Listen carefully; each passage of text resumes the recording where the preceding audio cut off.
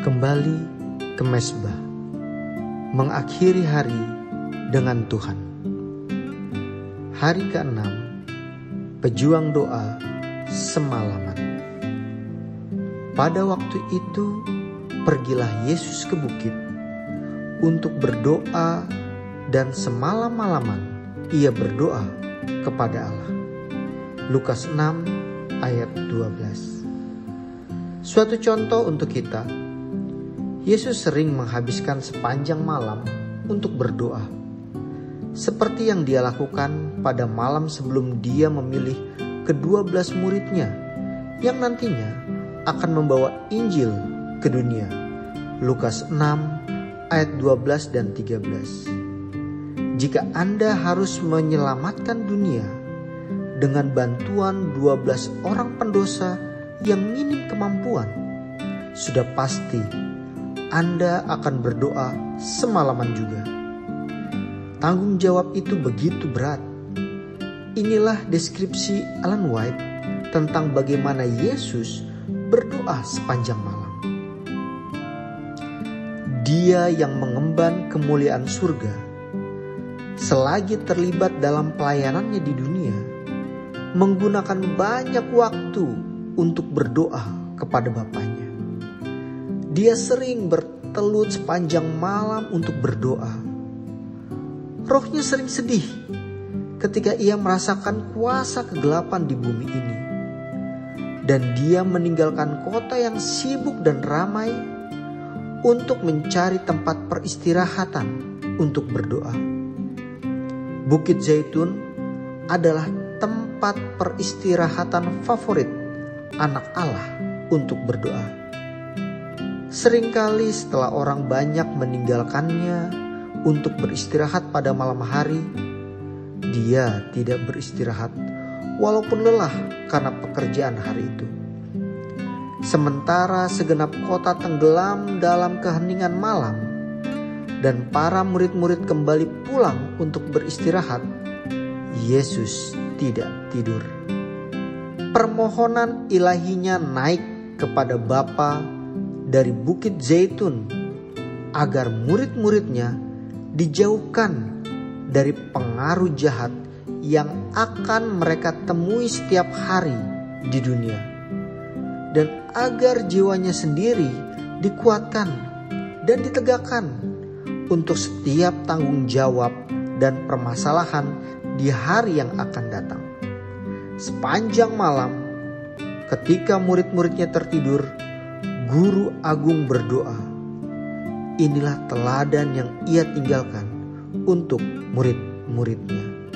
Homeward Bound halaman 169. Memahami apa yang dipertaruhkan. Sementara beberapa orang Kristen memulai hari mereka dengan Tuhan, sebagian besar lalai untuk mencari Tuhan di pagi hari dan hidup dengan ketakutan atas apa yang akan terjadi. Setelah menerima apa yang mereka butuhkan, jarang bagi mereka untuk berhenti dan mengucap syukur atas berkat dan perlindungan ilahi.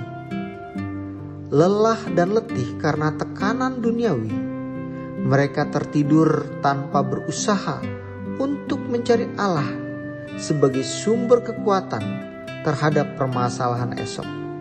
Mereka bahkan lupa untuk bersyukur.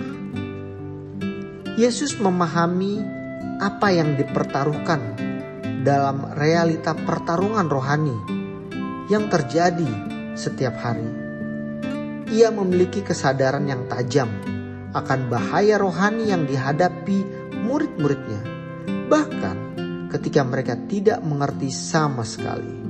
Lukas 22 ayat 32. Hari ini dan setiap hari, marilah kita melewatkan kesempatan untuk mengakhiri hari kita dengan hati yang terangkat kepada Tuhan dalam doa dan pujian.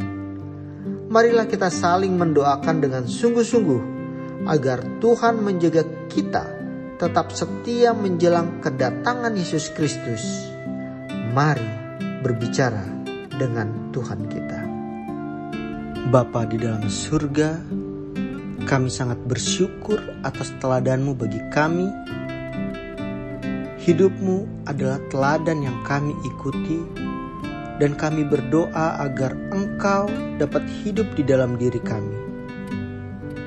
Bapa, kami menyadari kebutuhan kami akan waktu pribadi denganmu. Bantu kami hari ini untuk mengukir waktu tenang khusus untuk berdoa. Tunjukkan kepada kami gunung di mana kami bisa berkomunikasi denganmu dan belajar mendengar suaramu dengan jelas. Kebanyakan dari kami tidak pernah berdoa sepanjang malam.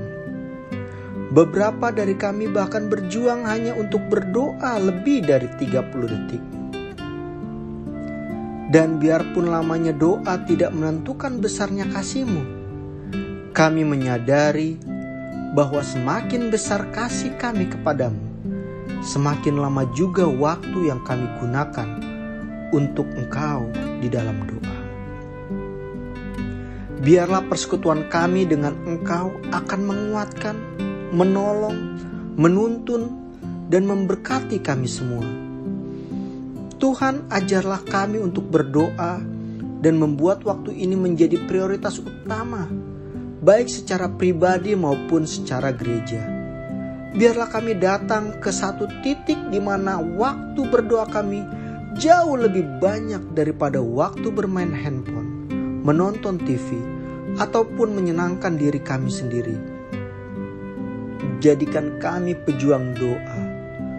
Bapa, kami juga mendoakan bagi semua yang sudah Tuhan tuntun untuk terhubung kepada pelayanan radio Advent Suara Pengharapan atau AWR Indonesia. Kami memohon berkat-Mu bagi semua yang mendengarkan melalui siaran radio shortwave SW atau gelombang pendek,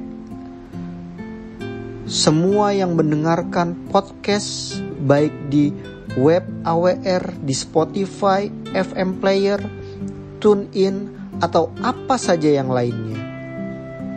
Semua yang tergabung dalam media sosial yaitu FB Group, FB Page, WhatsApp Group, Telegram, YouTube, semua yang membaca renungan pagi dan pelajaran Alkitab yang rutin diposting, semua yang mengikuti konten rohani yang diupload di media sosial, semua yang melihat, memberi respon, dan secara khusus yang menyampaikan permohonan doa, serta kerinduan belajar Alkitab dan berbagai pelayanan rohani online.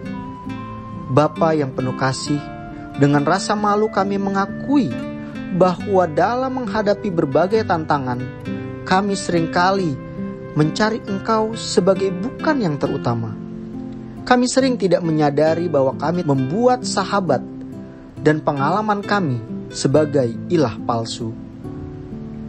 Ampuni kami Tuhan, tunjukkanlah kepada kami kelemahan diri kami dan ajarlah kami untuk mencari Engkau dengan segenap hati Engkaulah Tuhan Maha Kuasa dan penguasa alam semesta. Kami ingin mencari Engkau saja. Hanya kepadamulah kami berdoa. Amin.